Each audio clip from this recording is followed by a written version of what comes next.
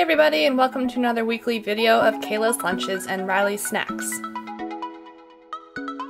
Today for lunch, Kayla is having meatloaf and cream cheese green onion pasta with a granola bar, cantaloupe, and applesauce. And for snack, Rylie is having a gluten-free granola bar, cantaloupe, and applesauce.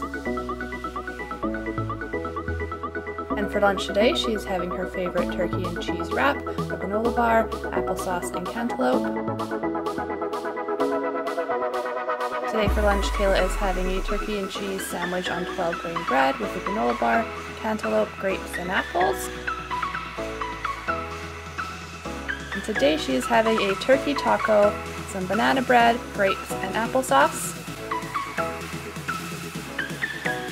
And lastly, today for lunch, Kayla is having a turkey taco, granola bar, applesauce, and cantaloupe, mandarin orange, and grapes. And Rylie is having a gluten-free granola bar, some gluten-free pretzel sticks, and also cantaloupe, mandarin oranges, and grapes. Thanks so much for watching this week's weekly lunches. Don't forget I'm now uploading weekly dinners as well, and I will leave that link down below. Thanks for watching. Bye!